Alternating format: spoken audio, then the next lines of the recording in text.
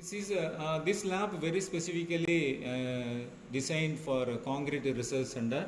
In this one, we are having a sophisticated equipment with us.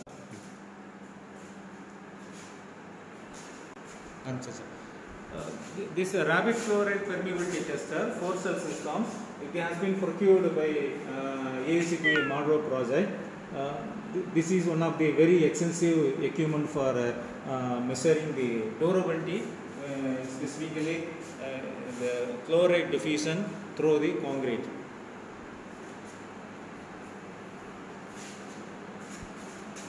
this is the, the desiccating pump uh, before uh, uh, when we are having a specimen before subjected to uh, RCPT test uh, we should get ascertain that uh, uh, the specimen should not have a moisture so the moisture will be taken out uh, by using this uh, desiccate, uh, desiccating pump surface concavity tester. So with the help of that we can find out uh, in the matrix uh, any corrosion uh, uh, problem is there we can uh, check it without breaking the uh, the specimen.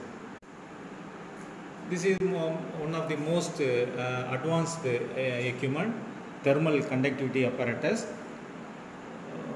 with help of that we can find out the uh, the specimen uh, how uh, to find we can find out the the thermal conductivity capacity of the different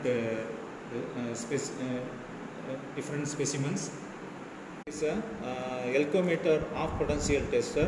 This is also used for finding out the uh, uh, the content, uh, condition of your existing structures how much uh, corrosion is taken place inside the uh, this equipment is uh, this is a length comparator with these accessories different uh, molds. This is a prism mold.